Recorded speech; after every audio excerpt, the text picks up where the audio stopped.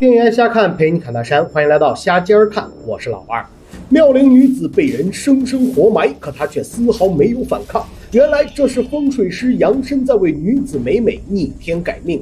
美美恰逢流年天克地冲，立春之后便开始诸事不顺。而在今晚戌时，美美满盘的地支将会被冲散，这是死劫，所以便有了这场假死法事，目的就是让美美入土为安，造成她已死的假象，从而蒙蔽上天。一切准备就绪，杨申高声颂唱悼词，最后只需焚尽印有美美名讳的女衣包即可。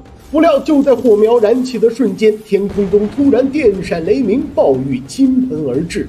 似乎两人忤逆天命的做法已然暴露。见情况不妙，杨申急忙跑到树林，可这雨来得太急太快，顷刻间雨水顺着山坡渗透向美美。本就呼吸不畅的他，瞬间感到了窒息。好在杨申快步赶来，这才将美美拉出土坑。一场悲剧终于化解了，但美美被彻底激怒，大骂着转身就走。然而她却不知道，印有自己名字的女衣包并没有焚烧完全，这就代表着改命法事没有完成。眼看天空中那团黑云正随着美美而去，显然命运的齿轮仍然在无情的转动。她最终能逃过一命吗？欢迎大家和老二一起收看今天的电影《命案》。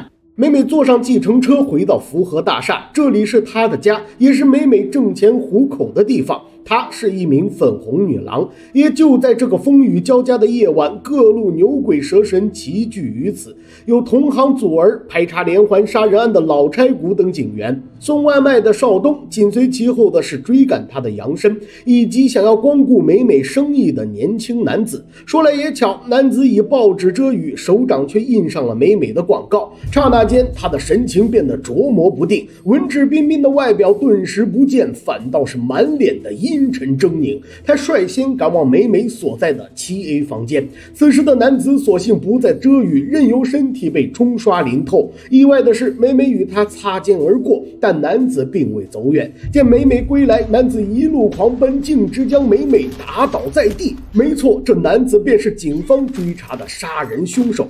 好巧不巧，邵东的外卖地址被雨水淋湿，九 A 变成了七 A。在他敲响房门的同时，美美早已被绑在半空，鲜血横流。而邵东却是个等不了的人，他疯狂按动门铃，屋内始终没有回应。凶手和邵东纷纷看向猫眼，虽然两人互相不知道，但他们的眼神却是在直直对视。趁着这个空当，美美挣脱了嘴上的胶带，大喊着救命。见事情暴露，凶手一刀封喉，也就。就在这时，杨申终于赶了过来。他疯狂喊着：“美美！”撞起了大门。不想凶手看准时机，开门就跑。残忍血腥的一幕让杨申呕吐不止。可邵东却是盯着骇人的鲜血，怔怔出神。下一刻，他竟然踩上血迹，享受般的舞动起来，满脸的汗水，急促的呼吸，仿佛邵东对鲜血有着变态的渴望。好在杨森理智尚存，急忙拨通报警电话。老柴谷等人快步赶来，正遇上了逃出大门的凶手。只是老差骨等人年事已高，面对年轻力壮的凶手，很快便被远远甩开。凶手逃进一家面馆，将凶器藏进了男卫生间。等他再次出现，已经换了身衣服，轻快地从面馆逃出升天。杨申和邵东被带回警局调查，杨申如实交代情况，获得了女警的认同。一切皆是命，半点不由人。每每改命失败，最终被凶手杀害，全是命运所致。只不过杨申却认为。命是可以改的，只差那么一点点。都怪那场雨，都是老天在作怪。杨深没有嫌疑，邵东一样如此。雨水令外卖单上的墨水化开，九楼变成了七楼，所以邵东送错了外卖。又是雨，是杨深口中老天刻意为之的大雨。造就了这机缘巧合的命案，而且凶手每次作案都选择在雨天。只是邵东依然对自己鞋上的斑斑血迹格外关注，这一幕引起了老差骨的不满。他以化验为由，严令邵东留下鞋子，更是走向邵东的父母，说：“盯着尸体的邵东，正如当年杀猫时一样，必须要好好看管。”难怪老差骨始终对邵东充满敌意，原来两人在多年前便有交集。更巧合的是，少东的父母正是面馆的老板，也就是凶手偷藏凶器的地方。此话一出，少东大吼着甩掉鞋子，愤怒起身。这一幕让杨深一愣，当即起卦占卜，得到的结果为坎卦，这让杨深大吃一惊，不顾一切追上了少东。他的命运正在走入绝路，但少东对此不屑一顾，踩上油门扬长而去。可他内心嗜血的欲望已经被彻底勾起，脑海中不断回想着美美被害的现场。无奈之下，少东只能用皮筋不断打击自己。然而，就算皮筋断裂，他依然无法平静下来。伴随着屋外阵阵猫叫声传来，少东彻底失去了理智。即使父母在旁不断劝告，避免他再次坐牢，结果一样于事无补。少东还是风一般拿起匕首冲出了家门。就算年迈的父母苦苦追在身后，母亲更是心急倒地，可少东依然没有停下脚步。他一路来到公园旁，飞身扑向黑色的流浪猫。就在匕首落下前的一刻，黑猫终于奋力挣脱。恰巧杨申经过此地，他急忙大喊起来，想要帮助少东算上一卦。鬼使神差下，少东真的跟了上来。他八字身弱，不成从格，变成官杀混杂，为人无情偏激，有暴力倾向。少东命格的七杀属金，所以从小就喜欢刀剑利器，沉迷杀生。少东的本命已经很差了，但他在九岁大运开始时却遇忌神当道，命格变得克泄交加，性格愈发凶残。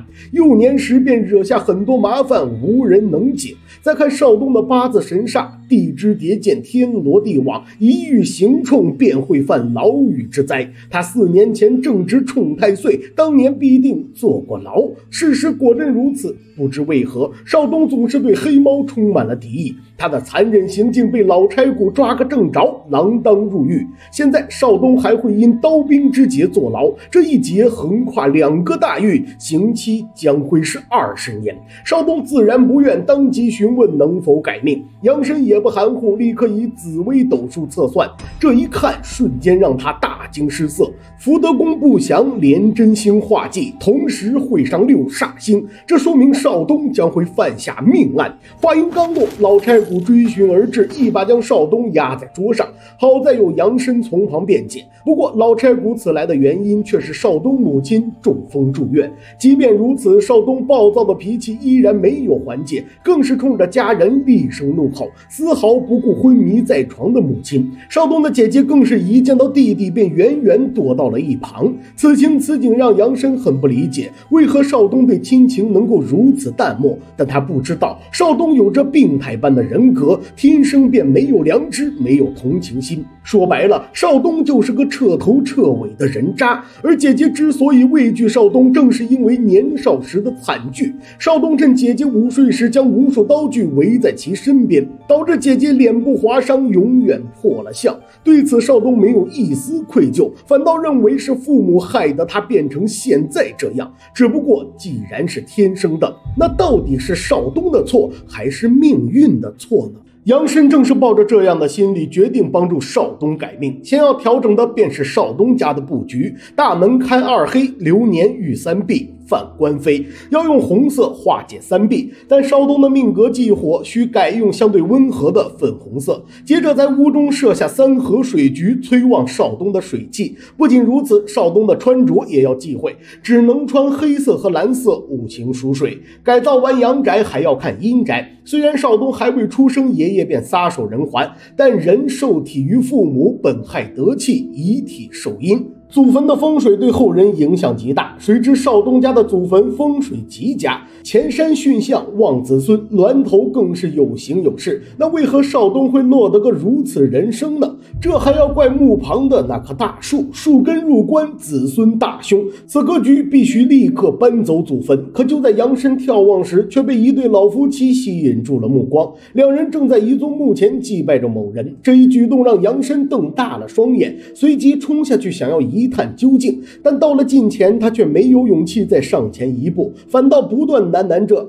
不会的。”等回到家中，杨深从破旧的铁盒中拿出一张照片，他看着女人的笑容，怔怔出神，自言自语着：“下庭饱满，没有纹，没有痣，没有破，不会短命的。”随后，杨深拿出书籍确认，告诫自己不要乱想，不是他，一定不是他。他一生行好运，一生都有福。这个女人必然是杨深牵挂之人，可结果恐怕要让他失望了。那座墓碑正是属于这照片上的女人。虽然杨申并不知道这些，但关于他和少东的运气实在差到了极点。大网从天而降，说是要维修剥落的外墙，更有诸多工人拿着钉锤不断敲打。此局势正构成天罗地网，万箭穿心。这是老天在出招啊！他不允许少东改命。既然如此，杨申决定先迁祖坟。可还没到地方，两人便被远远堵停。杨申顿感不妙，狂奔向墓园。等到了现场，他瞬间愣在原地。墓园出现了严重的山体滑坡，无数尸骨暴露荒野。这又是老天在出招。但话音刚落，杨申毫无征兆地愣在原地。他终归看到了最不愿看到的那座墓碑。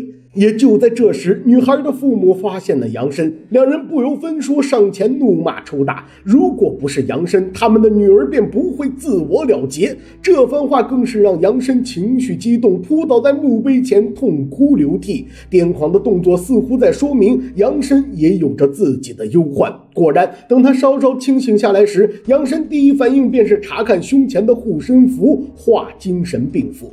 杨申一阵庆幸，随即狂奔回家中。他很疑惑，今天虽是自己的流日，可毕竟无形无冲，自己怎么会情绪失控呢？杨申立刻查看自己布下的风水阵，好在一切证物安然无恙。但他此刻才注意到自己鼻子上的疤痕愈发变大，流年部位破了相，会交霉运。这一切都是因为少东，命运让他目击凶案，是要他去杀人；而杨深遇上少东，是要逼杨深发疯。念及于此，杨深拒绝再帮少东改命。原来他的父母都患有精神病，杨深受到遗传影响，并发的可能性是正常人的四十五倍。他的母亲曾逼迫杨深生吞蟑螂，被拒绝后竟直接放入了自己口中，而杨申的父亲就坐在一旁目睹了全过程，默不作声。下一刻，父亲站上木箱，一跃而下。悲惨的童年仍然不是杨申不幸的结束，他的命格显示一定会变成精神病的。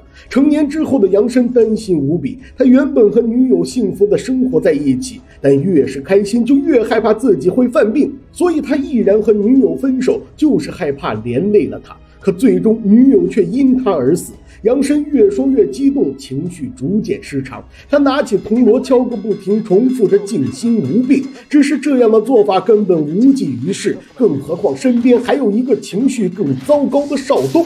短短片刻，杨深的风水阵被他破坏一通，而杨深只是呆傻地躺在地上，他眼中的世界变得猩红妖异，似乎厄运已然降临。做完这些的少东仍没有停手，一把扯下杨深脖间的符咒，焚烧殆尽，直到斗转星移，天光大亮，杨深眼中的世界依然是血红诡异。可就在这一片妖艳中，却有一抹洁白，独树一帜，那是被少东破坏后仅剩的一朵花儿。似乎是上天垂怜，留给了杨申一线生机。他不敢怠慢，将花朵摘下，精心呵护。然而眨眼间，乌云蔽日，世界陷入无边的黑暗。这让杨申愤怒无比。老天是在刻意遮住阳光啊！但他不会放弃。没有太阳，那就自己来创造；缺少水分，那就一点点滋养。即便如此，残存的花瓣还是在杨森面前一片片凋零。正是这一幕，让他悟出了一个道理。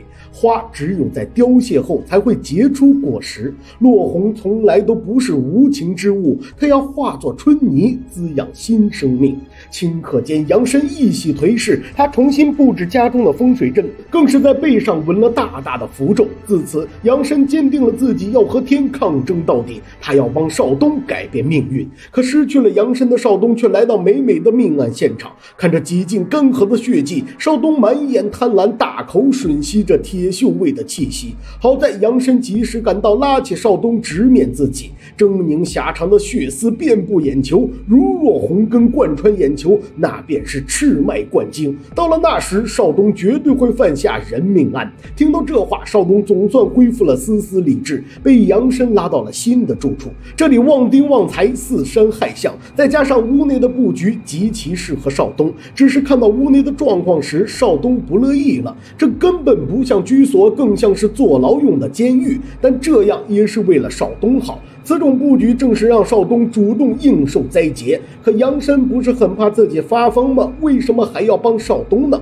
过去的杨深因为害怕致使女友丢了性命，这次他想搏一搏，不愿再自私下去。说是向天争命也好，弥补赎罪也罢，杨深此刻下定了决心。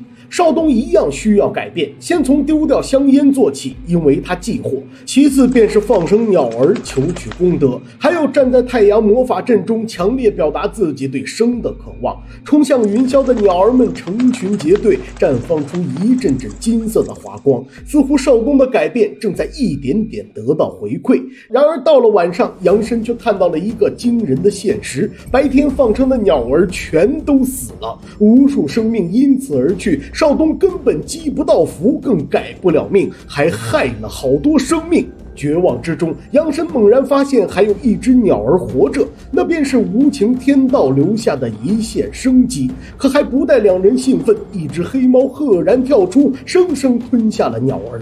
这一下，杨深彻底绝望了。平静无常的夜空在他眼中又一次变了模样，血月红云，灾厄当头。而追逐黑猫的少东果然应验，刚跑出两步，便遇到了老差骨。奔跑中，少东早已发现了后方的身影，他瞬间忘掉黑猫，将仇恨转移到了始终盯着自己的老差骨身上。好在杨深及时调整好情绪，拦下了磨刀霍霍的少东。此时此刻，杨深终于看清了少东的真面目，他根本没有想过不杀人，而是想要杀了人不用坐牢，这无异于痴人说梦。少东明明不是精神病，为何就不能理智一点呢？但杨深无法理解，这样的画面从小便存在于少东的脑海中，他们就像世人的恶魔，不断侵吞着少东的理智。不过这难不倒杨深，他瞬间想到了一个办法。改心，以念经去修炼内心，一念带万念，让自己的心静下来。虽然不情不愿，少东还是念了起来。做这些远远不够，杨深拉上少东来到面馆，一边免费派送，一边祝福他人，以此来修炼自己的发心，让念念都是善念。即使少东听话照做，脸上却没有一丝笑容，完全是在应付了事。可他们没想到，那个文质彬彬的凶手却赫然现身。他要来面馆取回凶器，不料凶手刚准备行动，老差骨不请自到。他怀疑少东的行为别有用心，更是直言昨晚的他想要对自己下手。这是否也是上天注定的命运呢？让老差骨遇上少东，将其击毙正法。短短几句，让少东情绪失控。好在他没有当场爆发，来到厕所躲避。但就是这意外的巧合，竟让少东。发现了凶手藏匿的作案工具，锋利的刀身上依然残留着骇人的血迹。看到这一幕的少东瞬间情绪激动，露出了狰狞的笑容。依然在派饭的杨深丝毫没有注意到不对，他还在向老差骨解释着：少东天生就是个人渣。可老差骨的正义感呢？会不会也只是天生的呢？如若这般，那老差骨不也是惯性使然，并非心之所向？话音刚落，杨深竟看到了少东的父亲和姐姐。本以为自己的做法会让两人开心，毕竟这是在让少东变好。然而姐姐却不这么想。杨深有什么资格和权利来干扰一家人呢？十几年来，一家人始终担惊受怕，姐姐更是每天失眠。她最安乐的时候，便是少东坐牢的一年。所以现在的少东就应该被抓进监狱。情绪激动下，姐姐一把取下口罩，俏脸上如沟壑般的伤。巴触目惊心，她已经无法做一个正常的女人了。但身为父亲，无论如何都希望子女能好。他也期待着少东能够真的改变。只是所有人都不曾想到，连环杀人案的凶手就在面馆之内。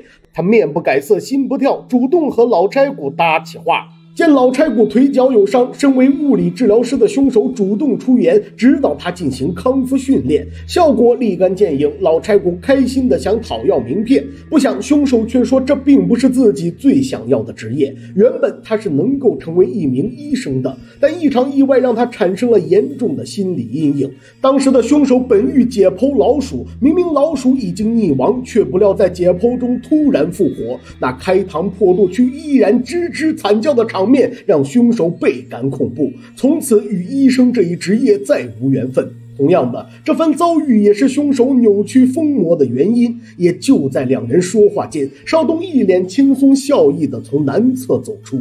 老柴骨虽然倍感怪异，但并未察觉出什么。当他走出面馆时，意外遇见了被追债的祖儿。看到老柴骨离开，凶手立刻动身，谁知南侧竟然大门紧锁。询问之下，邵东立刻变了脸色，直言南侧坏了。显然，他对鲜血淋漓的凶器产生了兴趣。待到终于完成了派送，邵东迫不及待地拿上凶器就走。他完全没有注意到凶手就在街对面，紧紧跟了上来。当回到如监牢般的房间时，邵东满怀期待地打开凶器包，如魔鬼般贪婪地吸食起血液的味。味道。转瞬间，他看到了面前满墙的经文，想到自己的做法是在前功尽弃，邵东当即放下凶器，开始念诵经文。下一刻，咚咚咚的敲门声突然响起，来人竟是从福和大厦搬来的祖儿。为了躲避高利贷，他竟住到了邵东对面。不料，看着离自己越来越近的祖儿，邵东握着螺丝刀的手越攥越紧。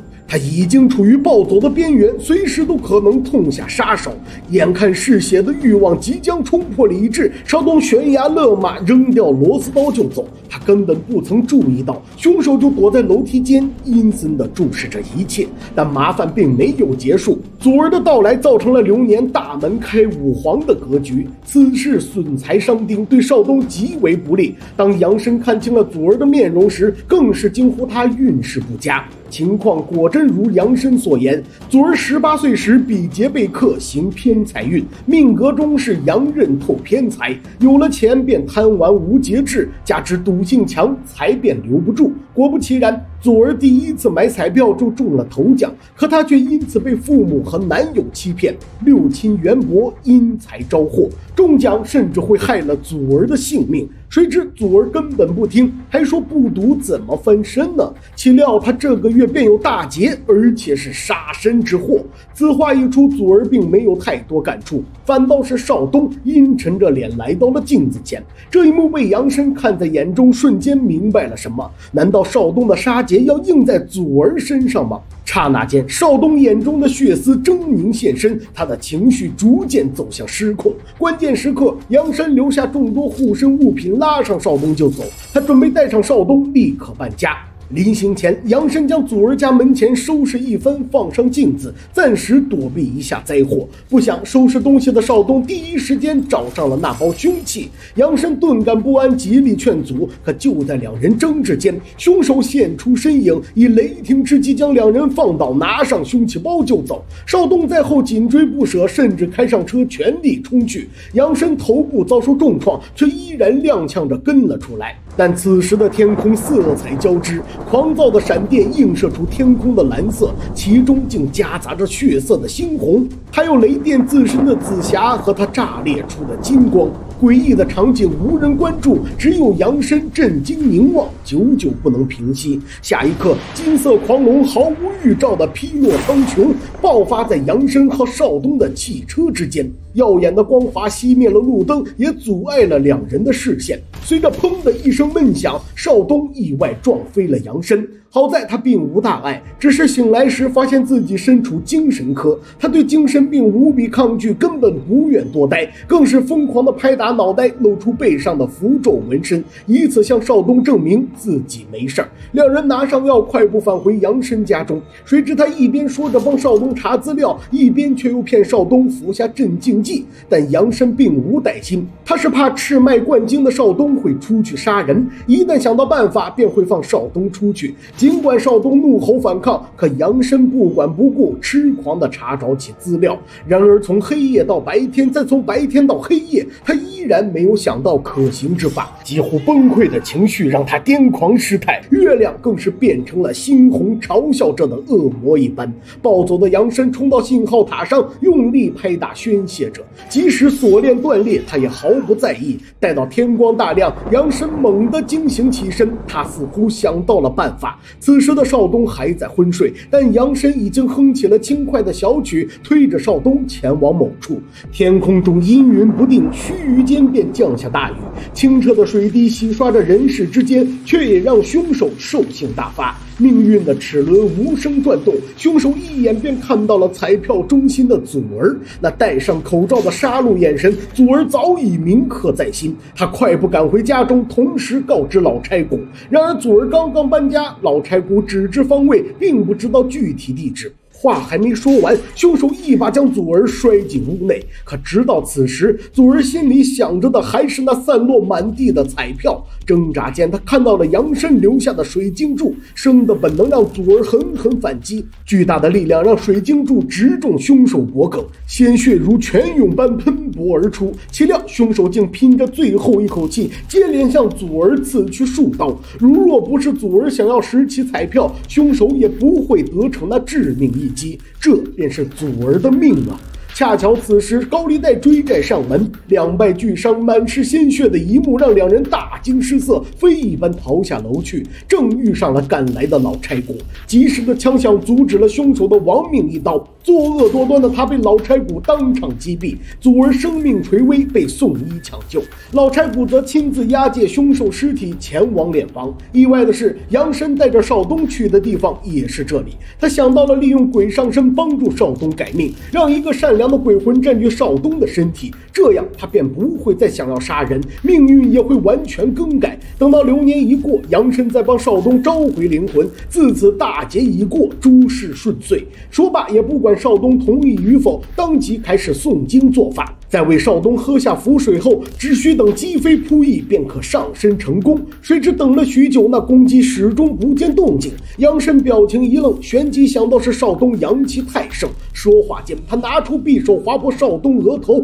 以此放血泄阳。只是一下，公鸡便扑扇起翅膀。少东立刻呜咽着表示上身成功，但他眼中依然存在的赤脉贯经却让杨深生疑。恰巧老差骨在门外经过，说起了凶手的尸体。也在此处，这话让杨深一愣，拉上少东就走。他隐隐猜出少东身上的不是善人鬼魂，而是凶手的。而杨深此时毫不自知，他已经陷入了疯魔状态。少东根本没有被鬼上身，他还是他自己。争执中，少东将杨深推翻在地，终于挣脱了束缚。可就是这一下，让杨深倒在了腐蚀液体上，背部的灼烧痛感让他顾不顾的少东急忙冲刷起来。也就在此时，少东转身就走，剩下的杨深却旧伤复发，额头上留下醒目的血迹。鲜血浸染下的杨深满目猩红，转头间竟看到公鸡飞身而过，这不是鬼上身的征兆吗？死去的人不止凶手，还有抢救无效的祖儿。直到生命的最后一刻，他才松开紧握着彩票的手。然而，刚刚逃出升天的少东依然没有躲过灾劫，他正巧遇上了迎面走来的老差骨。意外的是，少东同样看到了女警车上沾血的凶器，嗜血的欲望和复仇的冲动袭上心头。少东拿起凶器跟上了老差骨，但拔刀的瞬间，他看到了眼前的一汪小小的积水。远处屋檐上的水滴因为风的吹动，巧合地落在了少东面前，形成了这一处不大的积水。他的。命格正需要水来化解，而那积水之中有着一只蚂蚁，不停挣扎着想要逃脱。只是每到爬出积水的前一刻，它都会被水滴打落回去。可他始终没有放弃。也就在这犹豫的片刻，杨深竟然出现在老差骨面前，一砖头将他拍晕过去。杨深不知为何将少东和老差骨带回了房顶，呆傻地测算着老差骨的命格。他同样面临着死劫。少东的案件每次都落到老差骨手中，这正是上天要少东杀了他。说罢，不管不顾，拿刀扎向了老差骨。当鲜血的刺激涌入口鼻的瞬间，杨深的语。语气变了一个人，竟是那凶手的声音，继而引诱着少东了结老拆骨。但此时的少东异常清醒，他直言杨深是被凶手上了身。短短片刻，杨深回过神来，他想要挣脱体内的鬼魂，却始终在两具灵魂间摇摆不定。可少东似乎已经看透了命运，老天要杨深帮他，是要杨深发疯。杨深疯了，就会逼迫少东杀人。既然如此，他又怎么会动手呢？此时此刻，少东仿佛悟透了一切，他紧握住杨深刺下的匕首，即使自己的双手血流如注。少东拦下了彻底混乱的杨深，这一瞬间，杨深恢复了理智，但他也发现了一个可怕的现实：背上的符咒没有了，自己终归无法逃过精神病的命运。眨眼间，乌云彻底挡下了光明。杨深、少东、老柴骨这三个命运纠葛的人再也看不到了阳光。低沉的空气催动起少东对抗着的杀戮命运，他瞬间失去理智，提刀走向老差骨。恰逢此时，雷云滚动，强风阵阵，强大的冲击力带起晃动的信号塔，掉落的铁钉给了老差骨逃脱的机会。他趁机擒住少东，将手铐死死扣紧。然而结果却没能如愿，老差骨还是被少东打倒在地。眼看致命的一击已经蓄势待发，杨深突然就这么疯癫着悟了：没有输是自己选的，全都是自己的选择。其实从一开始，杨深就明白自己的命运，帮助少东改命，自己必定会发疯。他一直都知道这个结果，为什么没有逃避呢？正像他精心保护下的最后一朵花。花只有在凋谢后才会结果，这一样是他早就明白的道理。杨深自己就是花，如果自己不变成护花的春泥，少东这个果又怎么结得出来呢？是啊，一切都是自己的选择，没有什么迫不得已。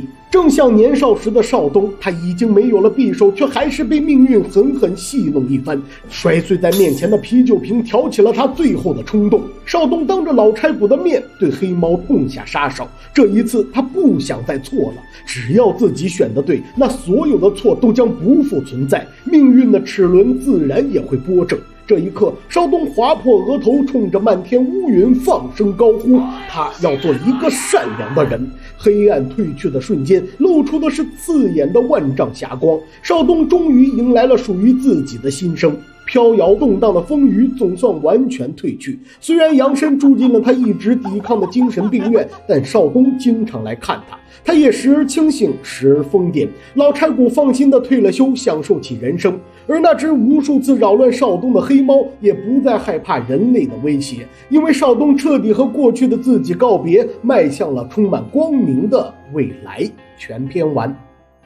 命案是本年度万众期待的影片之一，老二等了许久，终于把他盼来了。剧中有三位角色始终游走在失控的边缘，就像是一颗颗随时都会爆发的定时炸弹。林家栋饰演的大师杨森背负着父母遗传的精神病基因，时刻都有着发病疯癫的可能。杨乐文饰演的少东天生就是反社会人格，嗜血的冲动和无法抑制的狂躁时刻冲击着他的神经。陈占文饰演的杀手因为学生时代的阴影，每逢雨夜便会生出折磨与杀戮的欲望。看似一副光鲜亮丽的都市繁华，却无处不在透露着阴间景象。而最终只有一人走了出来，那就是少东。其中的过程最关键的因素无疑是杨深，他因为自己的潜在遗传病始终患得患失。杨深憧憬美好，却又害怕失去美好，所以他便亲手毁掉一切，只希望从旁人身上找到改命的可能。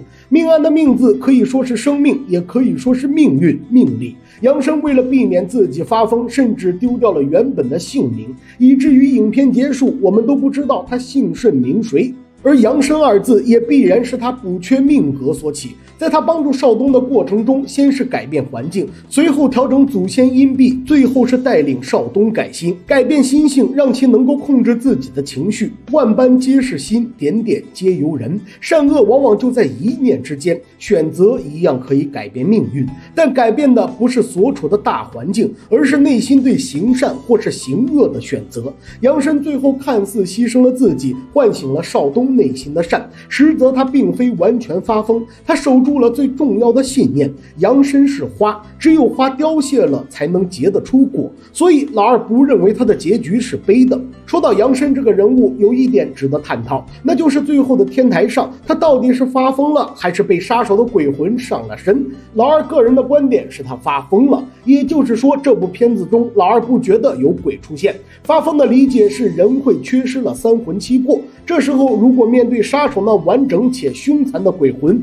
杨深又怎么抵抗，甚至间歇性的恢复理智呢？在邵东探望杨深的场景中，他虽然说着说着就会失去理智，但那样的表现可以看出，主导这个人的还是杨深自己。而说到改命，不知道小伙伴们怎么看？老二想到了一本书《了凡四训》，这是明朝著名官员、思想家袁黄袁了凡写给儿子袁天启的家书。少年时代的了凡先生遇到了一位老先生，老先生将他的一生算得清清楚楚，而且很快便在了凡先生身上一一应验。只是了凡先生的命中注定无后，只能活到五十三岁。直到某一天，了凡先生遇见了云谷禅师，禅师。告诉他，只有凡夫俗子才会有所谓的命数。非常善良之人，命数很难困得住他；非常邪恶之人，命数也很难框得住他。因为善与恶积累下来的种子，会让命运变得不确定。每个人的命运都是自己造作而成，每个人的福报也是自己努力而得。自此，了凡先生大受启发，为自己立下了十年做三千件好事的目标。打这之后，老先生的预测便不。再灵验，一生行善的了凡先生依靠自己的善念成功改命，不但有了自己的儿子，还活到了七十三岁的高龄。所以大家认为命可以改吗？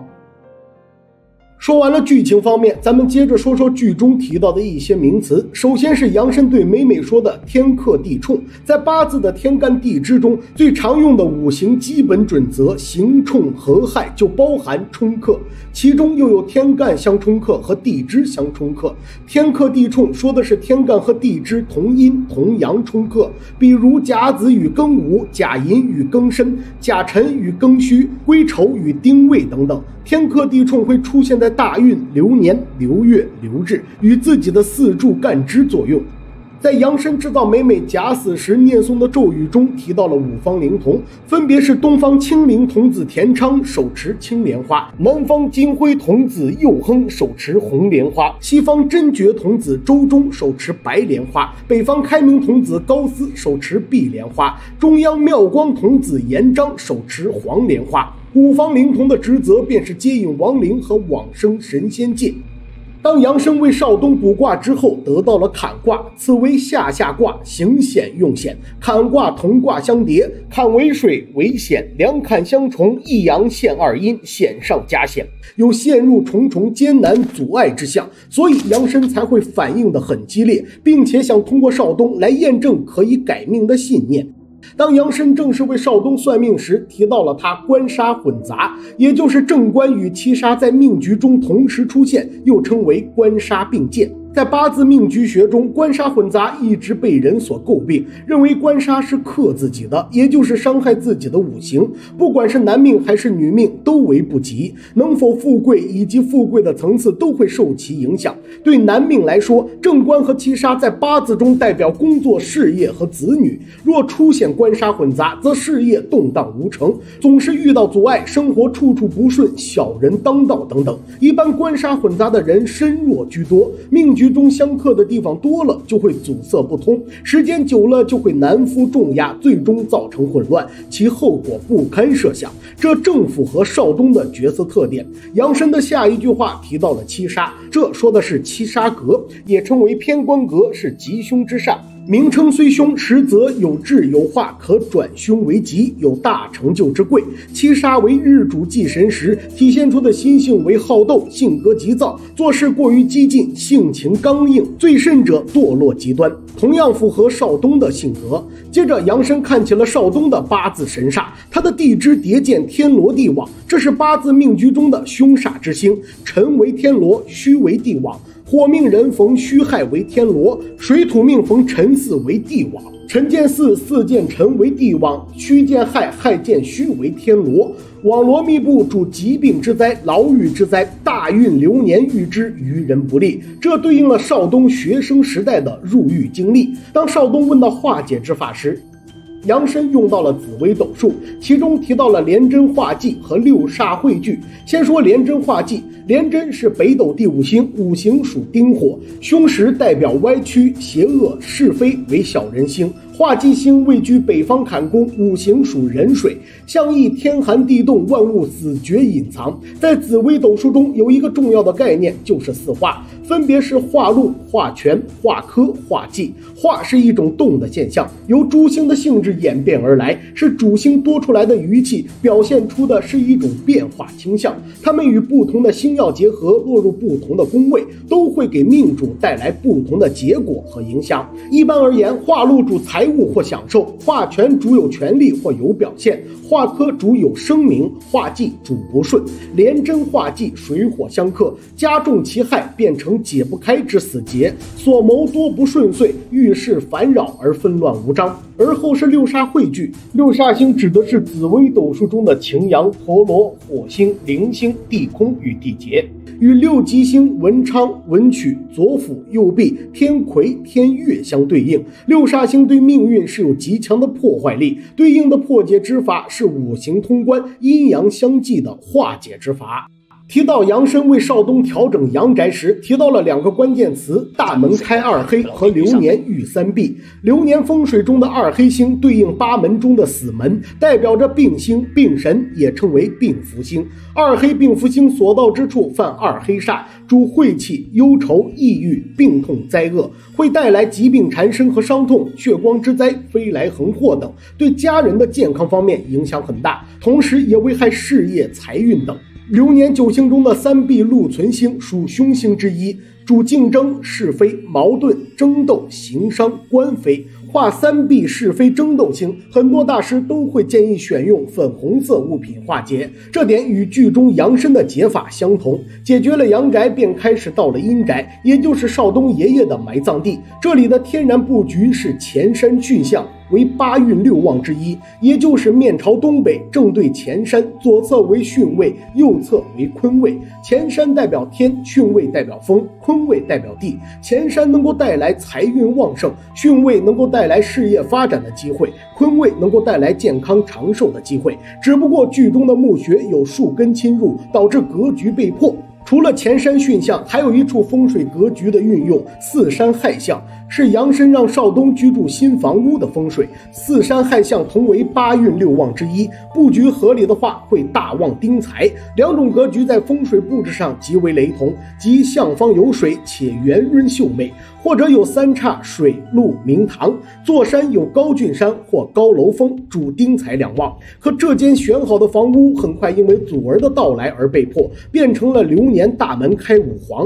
五黄是风水中的五黄方位，是整年。的风水凶焰，五黄和二黑是九大运星中的两大灾星。五黄星飞临方位形成的煞气称为五黄大煞，主招灾惹祸，轻者疾病、家事不和、事业不顺，重者凶灾横祸。化解五黄不能用木来克制，需要用金来泄其气。而破坏者祖儿本人的命理同样很差，他比劫被克，行偏财运，命格又为阳刃透偏财。比劫星是一个人的命运之星，他们决定一个。人的生活轨迹和命运走向，通常被称为比肩和劫财。偏财喜见官星，由于偏财要显才好，但是一旦显，容易被比劫分夺。一旦偏财被分夺，则祸害百出。剧中的祖儿在中了彩票后，便导致父母离心，男友背叛。可他的厄运远远不止于此。祖儿遇上了流年羊刃，羊刃是八字神煞中过强的干支组合，就是八字身过旺。阳刃者本为私行特殊之星，特性刚烈、暴力、急躁。不过阳刃虽为凶星，但不一定就不好，具体还要看八字中的整体组合。只不过流年神煞阳刃就为大凶，阳刃逢冲会有一场大灾劫，叫做阳刃倒戈，要谨防意想不到的灾祸降临。更可怕的是冲克出生年月。的干支名曰阳刃断根，主牢狱杀身之祸，务必要万分小心。以上便是影片中杨申为多个人物算命的内容。整体来说，这部影片还是非常用心的，所涉及的东西很贴合人物的特点。杨生帮助少东的格局一样符合他的境况，特别是画三 B 时选用粉色。最后还有一点比较有趣，就是杨生为少东施法鬼上身时所念咒语，以此镇灵身招请孤魂闻召远来临。这其实是放焰口的配合经文，是民间追荐死者的法事之一。人死之后做妻祭辰或冥寿时，大多数人家都会举办放焰口，以超度亡魂。小伙伴们觉得这部命案如何呢？欢迎在评论区和老二留言讨论哦。